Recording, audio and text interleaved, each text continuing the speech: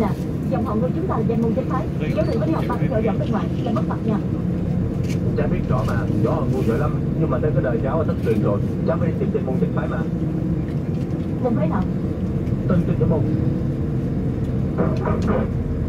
Phải, phải, à phải. Mình chủ à, ông không phải không biết là một người có lương kinh từ bộ tôi như Xưa nay tôi là người đứng đắn không bao giờ lừa gạt tiền ông của ông đâu à. giờ mà tiền thưởng của tôi sau khi đấu võ thật sự đã bị bốn cái lão già lấy hết trơn rồi mà.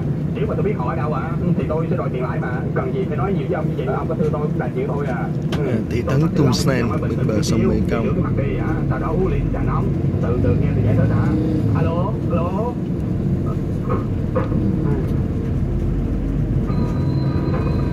Alo